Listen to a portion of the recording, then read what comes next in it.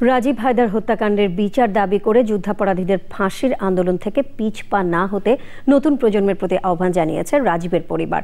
তাদের আশ্বাস দিয়ে সরকার বলেছে দ্রুতই হত্যাকারীদের খুঁজে বের করে শাস্তি নিশ্চিত করা হবে। নীলাদ্রি শেখরের রিপোর্ট। নৃশংস হত্যাকাণ্ডের শিকার হন শাহবাগ আন্দোলনের কর্মী ব্লগার রাজীব হায়দার।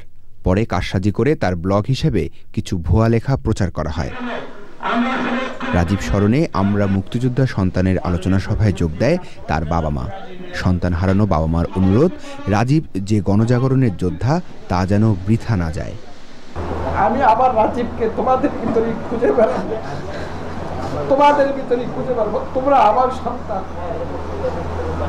তোমরা এগিয়ে যাও। বাঁচতে হবে। আমরা আমাদের জীবনের একটা পর্যায়ে চলে গেছে। আমরা হয়তো চলে যাব।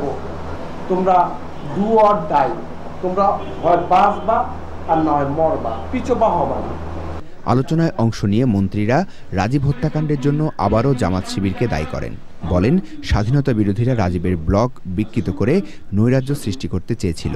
এই রাজীবের রক্তের জন্য আমাদের সামনে পথ চলার জন্য আমাদেরকে পথ প্রদর্শন হিসেবে যেন থাকে সেই কামনা করে আমরা তার রক্ত যেন বৃথা না যায় সেই জন্য আমরা সকলে মিলে কাজ করে যাব।